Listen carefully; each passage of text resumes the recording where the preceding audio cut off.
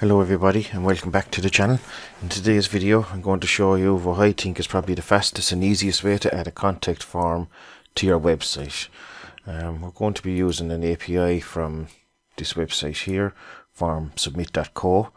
Um, just to let you know I'm not affiliated in any way with FormSubmit. I just think it's a very uh, good service and I just thought I'd like to share it with you.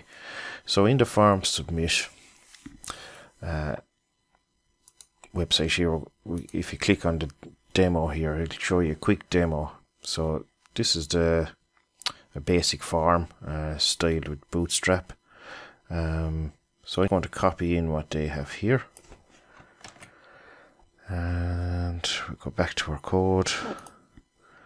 And inside in our main.js, I'm just going to paste in the code and we have two errors here because we're in React.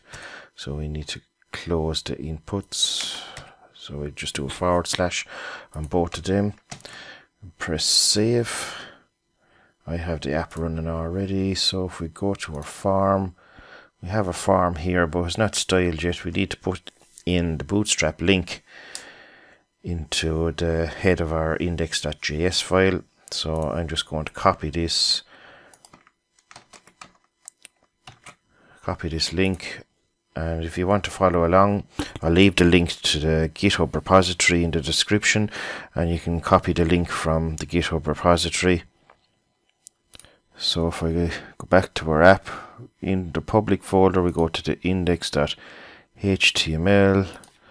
just above the title tag then I'm just going to paste in that link. We'll press save on that go back and check has it been applied Okay, so now our farm is um, all styled with Bootstrap.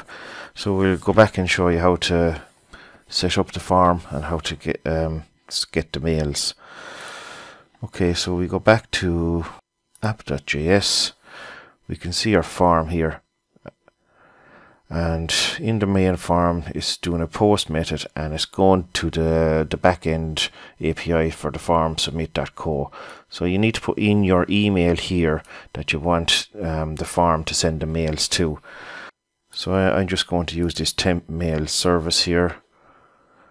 Just get a temporary email. So I'm just going to copy this mail here. Going back into our code and right here where it says your email.com, we're going to paste in that there.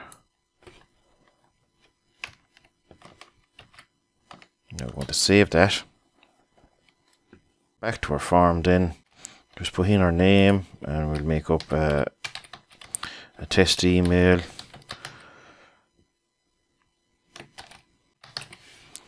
And we'll just type in a message here.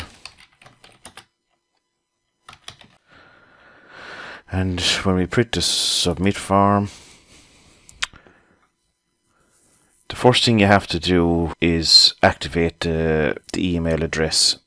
So if you go to your own email, and FormSubmit will be after sending you an email that you need to activate the form on that on that um, website.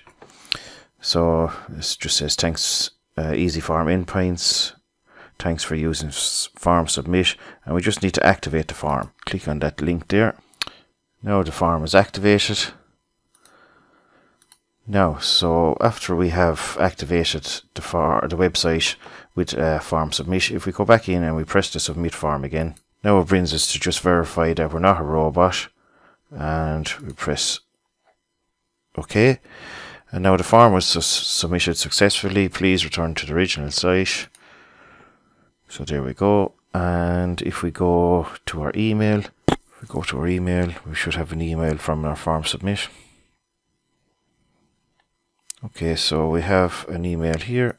If we press dash, now you can see um, FormSubmit, uh, new submission from localhost 3000, but that would be your website when you set it all up. So we can see the name, we can see the email that was entered, and we can see the message that was input as well. when we go into the documentation, you can see they have all other um, options that we can add in. You can disable the re-catch. Um, you can have auto responses. So you just put in another input. The input will be hidden. Um, the name is slash auto response, so the API knows, and you can send a custom message. Um, you can select templates. So these are different templates you can use. So we just put in the input type again and just put in the type, the template you want. Okay, so that's how quick and easy it is to add a form submit to your website using the FormSubmit API. Uh, thanks very much for watching. I hope you learned something from this video. Please like and subscribe to the channel if you'd like to see more videos like this. Thanks for watching and we'll see you in the next.